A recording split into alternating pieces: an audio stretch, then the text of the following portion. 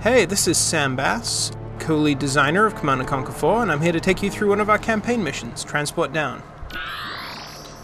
You'll see there is our deploy zone.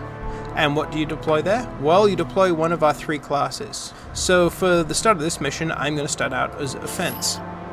Deploy here in my deploy zone. Deployment successful, Commander. Standing by for your next order. So I got my tanks, Yes? and up here looks like there is a forgotten farm, which is where the Monitoring mutants in this area live.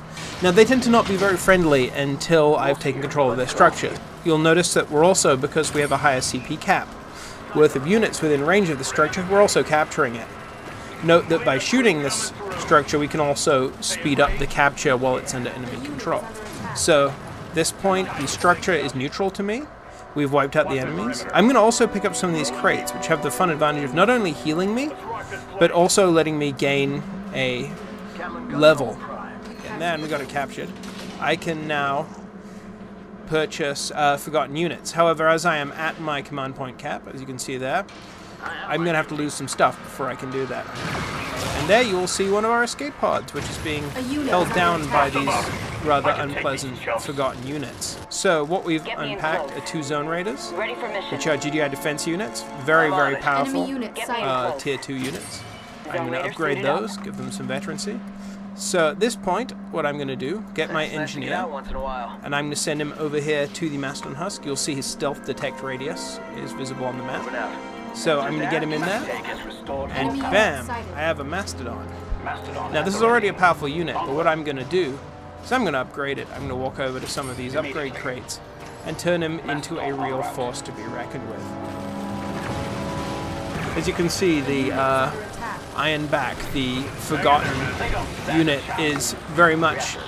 It's like a custom built mech made in someone's garage. It's meant to have a Objective complete. little more of a handmade vibe than the GDI or Nod units you find. Enemy unit sighted. So, got some more units here. I'm going to rank up some of my infantry. And our good friend there is telling us that we have a plan. We know what we need to do. And what we need to do is capture the Tiberium control nodes. Ready for mission. So at this point, I'm going to grab my guys and head off for the nearest node. So these guys are starting to capture it. Same capturing mechanic as in capturing the mutant structures. These are also our primary multiplayer goals, but they play a significant role in the story also. That is captured, belongs to GDI. You can tell Nod is now on the battlefield. That's the Nod Defense Crawler, stomping around. There's the Scorpion tank over there. Oh, the Nod Defense Crawler has gone straight for TCN node that. I only have one unit over. I also see that they're in hot pursuit of me over here. So they are capturing the structure. So I've got two of these things captured, and the Mastodon's making quick work of this. Nod Avenger tank. Get him, boy. There you go. Good and dead. And I'm going to put him in guard mode of that structure. Objective complete. Offensive glass already. Okay, so it looks like we completed that objective.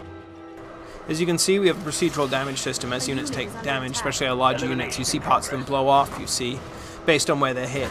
Oh no, and he went down. Oh, and look, our good friends at GDI have sent us some reinforcements. So here we have some combat. Nod's moving in, ready to take our stuff out.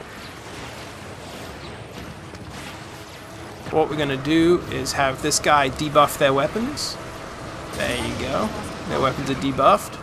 And then send my guys in, finish them off good. Yeah. Don't stand a chance. Nice work. We're approaching 100%. Let's get the hell out of here. A unit is under attack. And that's it. Thank you very much for watching this walkthrough. I hope you enjoyed it. It's, this is one of the many exciting missions in CNC4, which is coming to stores near you March 16th. Buy it, you'll like it.